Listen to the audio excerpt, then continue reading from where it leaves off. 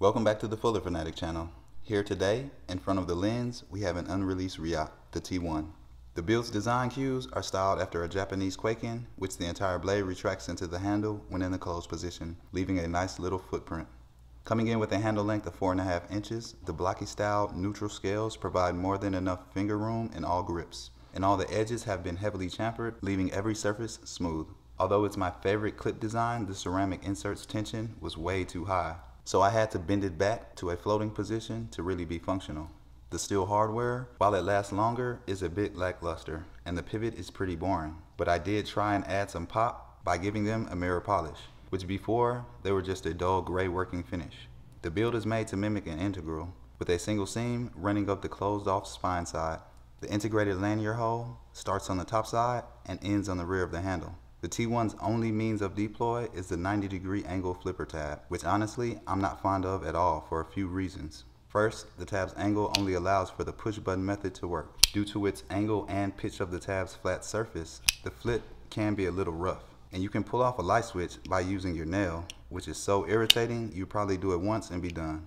Next, the body design isn't that wide, and it's very easy to ride the lock bar, making the tab use very uninviting and after slipping off a few times or flipping it with added resistance, it becomes even more irritating. This being the same tab and design off the Reate Hawk, if anyone here owns and knows the Hawk, the tab sucks if you ride the lock bar or slip off. Once you get past that, the action, well it's a Reate, so the action is pure butter, and the audible is even better.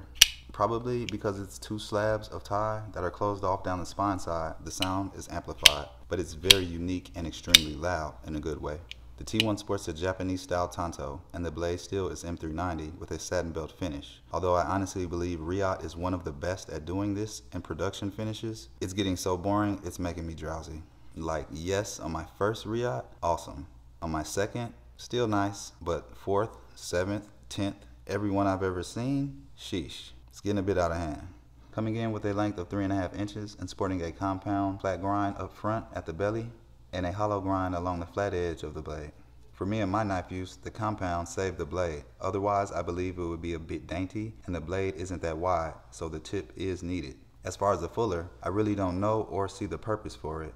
I love a fuller that is functional, but just to be there to collect gunk and dust isn't a plus. A flickable version of the T1 would be fire, but being a Kwaiken style folder, well, you know the deal. Lock disengagement, similar to the tab deployment, isn't inviting, especially if you are unfamiliar with the build. Again, identical to the Reate Hawk in this area, both end in pointy edges.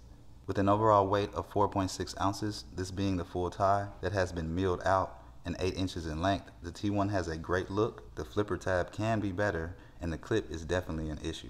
The lock disengagement is pretty sharp, and the decorative fuller is a shot directly at me. No, I'm just kidding. The action, fit, and finish, other than the clip, is good. The design, although, is kind of boring, and it's not bad. I just think with a few tweaks, it could be worlds better. And for instance, use the Lee Williams kickstop tab because the tab in the open position just kills the entire Kwaiken look. And that's really a first time for me saying I don't like a flipper tab.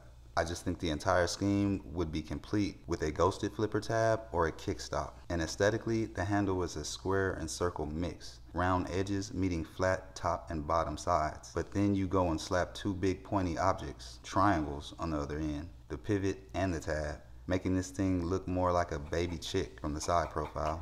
Which Reate could have implicated a rounded top flipper like the Concept Knives Humdinger or whatever that thing is called, and a nice round button pivot. This is a real and great quality, but I would just love to see some design changes before it hits the market. And what are your thoughts on the T1 by Reate Knives? Comment down below and share the content. Plus, hit the like button and sub to the channel for more knife vids. Signing off from the Fuller Fanatic.